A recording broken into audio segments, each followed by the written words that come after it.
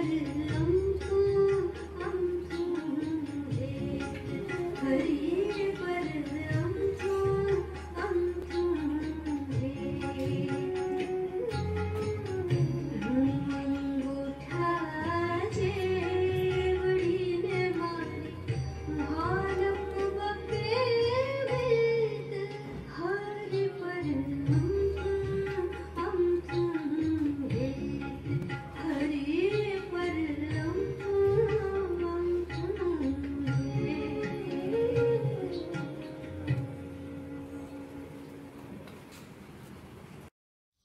નમઃ શિવાય ઓમ. આપણે સૌ પરમેશ્વરના અસ્તિત્વના અથવા પ્રકૃતિના સંકેતો વિશે થોડી વાત કરવા જઈ રહ્યા છીએ. આ વાતનો સંદર્ભ ત્રેવીસમી સપ્ટેમ્બર બે હજાર ઓગણીસના રોજ મારા ધર્મપત્ની અને સૌના એલા ટીચરે પરમની યાત્રા માંડી એનો છે. અમારું એમના ગયા પછી એવું માનવું પાક્કું થયું છે કે આપણને ઈશ્વર વારંવાર સંકેત આપતો હોય છે. અસ્તિત્વ તમને કહેતું હોય છે કે હવે શું બનવાનું છે. કદાચ આપણે આપણામાં એટલા વ્યસ્ત હોઈએ છીએ કે એ જે કાંઈ કહેવાય છે તે આપણે સાંભળી શકતા નથી, સાંભળીએ તો સમજી શકતા નથી અને સમજીએ તો તે સ્વીકારી શકતા નથી. આ વાતને થોડી વધુ ઉજાગર કરવા માટે હું આપની સાથે કેટલાક એવા અમારી સાથે બનેલા બનાવો, પ્રસંગો, ઘટનાઓ શેર કરવાનો છું, જેમાંથી આપણને ખ્યાલ આવે કે અસ્તિત્વ આપણી કાળજી લે છે. જન્મની નહીં, મૃત્યુની પણ કાળજી લે છે. આજે મારે વાત કરવી છે, અમારા પ્રેમ મંદિરના એક પરમ પ્રિય અને પૂજ્ય ભાવ, આદર ભાવ જેમના પ્રત્યે અમારો અકબંધ છે, એ પ્રિય શ્રી મોરારી બાપુ વિશેની. આમ જુઓ તો મોરારી બાપુ સાથેનો અમારો નાતો ચાલીસેક વર્ષનો ખરો. કારણ કે અનેક કાર્યક્રમોના આયોજનમાં બાપુ અમારે આંગણે પધાર્યા છે. પણ આમ સીધો નાતો અમે મુઠ્ઠી ઊંચેરા સો માનવ રત્નો એ ગ્રંથનું લોકાર્પણ કરવા બાપુ અમારે આંગણે પધાર્યા એ પહેલો મોકો હતો. બાકીના કાર્યક્રમો કોઈ સંસ્થા વતી, મારી યુનિવર્સિટી વતી મેં યોજ્યા હતા અને બાપુ ભાવપૂર્વક પધાર્યા હતા. મુઠ્ઠી ઊંચેરા સો માનવ રત્નોના લોકાર્પણમાં બાપુ પ્રેમથી આવ્યા. દિલથી આવ્યા નિરાંતે બેઠા.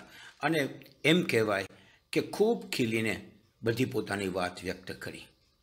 બાપુએ અમારા કુટુંબને એમ કહેવાય કે હથળીમાં ઊંચકીને તે દિવસે મોટું કરી દીધું.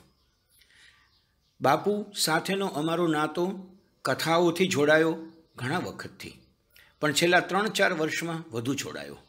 બે વર્ષ પહેલાં જૂનાગઢમાં અતુલના યજમાન પદે જે માનસ નાગર કથાનું આયોજન થયું, તેનું સવારની વ્યાસપીઠનું બધું જ સંચાલન બાપુએ મને સોંપ્યું.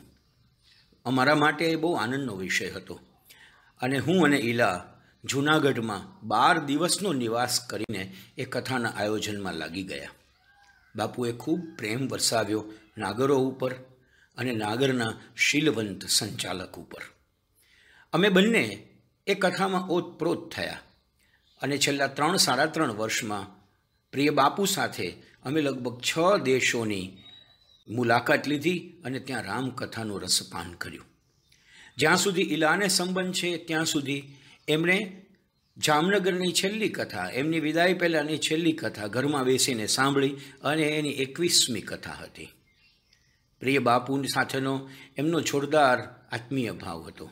કથા સાંભળવા બેસે ત્યારે એના મનની અંદર માત્ર કથા હોય, બીજું કશું ન હોય. પેરિસની કથા જે છેલ્લી અમે એટેન્ડ કરી, એ વખતે એમને વાંસાનો દુખાવો હતો. હાર્દિક અને જલમે કહ્યું કે તમે જવાનું રહેવા દો.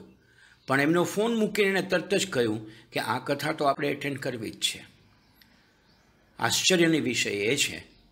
પરમથી મળતો સંદેશો એ છે કે છવ્વીસમી ઓગસ્ટે જ્યારે અમે પેરિસથી અમદાવાદ એરપોર્ટ ઉપર ઉતર્યા. ત્યારે સોલા ભાગવતના ભાગવત ઋષિના ધર્મપત્ની રચના અમને લેવા આવ્યા હતા. એમને એણે પહેલું વાક્ય કહ્યું કે, રચના, હવે બાપુને બે હાથ જોડીને કહેવું છે કે વિદેશની આ મારી છેલ્લી કથા છે. બન્યું પણ એવું કે એ એમની છેલ્લી કથા હતી. બાપુ, અમારી સાથે એવો નાતો ધરાવે છે કે એ સહજતાથી વાત કરી શકે. કોઈ પણ સમારંભ હોય, કથાને સંધ્યાએ યોજાતી કોઈ ગોષ્ઠી હોય, પોતાના હિંડોળાની પાસે બાપુ બે ખુરશી મુકાવે, મારી અને એમની. છેલ્લી કથા પેરિસની હતી, એમાં મારાથી ઉલ્લેખ પણ થઈ ગયો કે કોઈ અભાવમાં જીવે છે, કોઈ સ્વભાવથી જીવે છે, પણ બાપુ હું મારો પ્રભાવ સાથે રહીને જીવું છું અને એ મારો પ્રભાવ ત્રેવીસમી સપ્ટેમ્બરના રોજ પોતાની યાત્રા આરંભીને નોખો પડી ગયો છે. પ્રિય બાપુ બે હજાર અઢારના વર્ષની શરૂઆતમાં, એટલે કે પહેલી જાન્યુઆરીના રોજ, પ્રેમ મંદિર પધાર્યા. એમણે સ્વાગત જ્યારે અમે દરવાજા ઉપર નમન કરીને કર્યું, ત્યારે બાપુએ એમને સંબોધન કરીને કહ્યું, "બા- બેન, બે હજાર અઢારનું વર્ષ શરૂ થાય છે. વિચાર આવ્યો કે ક્યાંથી શરૂ કરું? તો જવાબ મળ્યો કે ચાલો, પ્રેમ મંદિરથી આજની સવારની શરૂઆત કરું. અને બાપુ ભાવપૂર્વક અમારે ત્યાં પધાર્યા. નિરાંતે મળ્યા. એમની સાથે ફરીને એમણે આખું ઘર જોયું. ખાસ કરીને લેખન વાંચનનો જે ખંડ છે, એ તો બાપુએ ખૂબ હૈયાની ટાઢક વળી હોય એ રીતે એની સાથે જોયો અને એમની પાસેથી વિગતો મેળવી. એમની તસવીરો હજી જોઈએ છીએ ત્યારે લાગે છે કે બાપુ અને ઈલા બંને પ્રસન્ન ચિત્ત છે અને વાતો કરી રહ્યા છે. તે દિવસે અમારી પાસે સ્વાગતનો કોઈ સમય નહોતો. સૂતરની આંટી કે ફૂલ કે શોલ કે એવું કંઈ અમે લાવી શકીએ એમ નહોતા. ઉતાવળમાં હતા. બાપુ આવે છે એ જાણ્યાથી થોડા ઘાંઘા થઈ ગયા હતા. આનંદનો ઉન્માદ હતો. કશું કરી નહોતા શક્યા. પરંતુ બાપુએ જેવું હિંડોળા ઉપર સ્થાન લીધું અને અમારા દિવાન ખંડની અંદર સુંદર મજાના સ્પીકર ઉપર એક ગીત અમે ગુંજ્યુતું કર્યું. હરી પર અમથું અમથું હેત. હું તો અંગૂઠા જેવડી ને મારી વાલપ બબ્બે વેત. મુંબઈના રેખા ત્રિવેદીએ ગાયેલું સુરેશ જોશીનું આ સ્વરાંકન અને રમેશ પારેખના શબ્દો. બાપુની આંખ અને અમારા સૌના આંખના ખૂણા ભીના થવા લાગ્યા. બાપુ ભાવવાહી થઈ ગયા. ત્યાર પછી એક કલાક તેઓએ વિતાવ્યા પછી, બેન, હવે હું રજા લઉં? એવું કહ્યું. ત્યારે સહજ સ્વાબ, સ્વ- જવાબ હતો, આપ રજા લ્યો અહીંથી, એમ અમે કેમ કહીએ? બાપુ કહ્યું, બેન ફરી એકવાર પેલું એક ગીત સાંભળીને પછી હું જાઉં. અને આગમનમાં સાંભળેલું એ ગીત બાપુએ પ્રેમ મંદિર છોડ્યું, ત્યારે પણ ફરી એકવાર ગુંજી ઉઠ્યું. ત્રીસમી જૂન બે હજાર અઢારના રોજ અમે લોકો અમેરિકા, રોચેસ્ટર ખાતે હતા. પૂજ્ય બાપુની કથા અમે માણી રહ્યા હતા. અને ત્રીસમી જૂને કથાની પૂર્ણાહુતિ થઈ ત્યારે પૂજ્ય બાપુએ અમને વ્યાસપીઠ ઉપર બોલાવ્યા. ત્યારે અમને ખ્યાલ આવ્યો કે આજે ત્રીસમી જૂન અમારા લગ્ન જીવનની આજે ચાલીસમી વર્ષગાંઠ છે. પૂજ્ય બાપુએ વ્યાસપીઠ ઉપર બોલાવી, બહુ જ ભાવપૂર્વક આશીર્વાદ અને સ્મિત આપી રામનામી અર્પણ કરી અને તેમના હાસ્યમાં જાણે અમારી વર્ષગાંઠની ઉજવણી આવી ગઈ. ત્રીસમી જૂન બે હજાર ઓગણીસના રોજ અમે બંને અંબાજી હતા. માતાજી પાસે અમારી વર્ષગાંઠ ઉજવવી હતી. એટલે અંબાજીમાં ત્રીસમી જૂને મોડી રાત્રે, કારણ કે અમેરિકા એ વખતે બાપુ હતા, પોતાની નિયત કથા પ્રમાણે, અને એમણે ત્રીસમી જૂને ત્યાંના સમય પ્રમાણે ફોન કર્યો, ત્યારે અહીંયા અડધી રાત હતી. અને એમણે કહ્યું કે, ભદ્રાયુભાઈ, મને ખ્યાલ છે કે તમને મેં જગાડ્યા છે, પણ તારીખ ચૂકી ન જવાય, એટલે હું અત્યારના શુભેચ્છા પાઠવું છું. અમે બંને જાગીને એ ટહુકારો સાંભળતા રહ્યા. બાપુએ આશીર્વાદરૂપ હોંશમાં એમ કહ્યું, અનુકૂળતા હોય તો તમે બંને પેરિસની કથામાં સાથે આવો. મજા આવશે ભદ્રાયુભાઈ. આવો, સહજતાનો નાતો બાપુ સાથે હતો. અમારી છેલ્લી બંને વર્ષગાંઠમાં અમે બાપુ સાથે હતા. એનો અમારે મન ખૂબ મોટો આનંદ હતો. આવો સહજ નાતો છે અમારો પ્રિય મોરારી બાપુ સાથે. ત્રેવીસમી સપ્ટેમ્બરના રોજ જ્યારે આ ઘટના બની ત્યારે બાપુ દિલ્હીની કથા માટે એરપોર્ટ ઉપર હતા. સંદેશો મળ્યો ને તેમણે તરત જ ત્યાંથી ફોન કર્યો. મારી સાથે વાત કરી અને મેં કહ્યું કે જેલમ અહીં છે તો જેલમ સાથે પણ બાપુએ વાત કરી. જેલમને કહ્યું, બેટા, હું તો હજી મમ્મી પપ્પાને પેરિસની કથામાં સામે બેઠેલા ભાળી રહ્યો છું. પણ તમે સૌ સ્વસ્થ રહેજો અને તમે સૌ આનંદથી મમ્મીને વિદાય આપશો એવી મને ખાતરી છે. બાપુના એ શબ્દો એમને ટેકો કર્યો હશે, એવું પણ બને. અને ત્યારથી વિચારો શરૂ થયા અને અમે મૃત્યુનો મહોત્સવ ઉજવવાનું મનોમન નક્કી કરી લીધું. અહીં એક વાત થોડી વધારે પડતી લાગે તો પણ હું સ્પષ્ટ રીતે કહું કે બાપુ વ્યાસપીઠ ઉપર હોય ત્યારે વ્યાસપીઠ સિવાય મૌન રહે છે.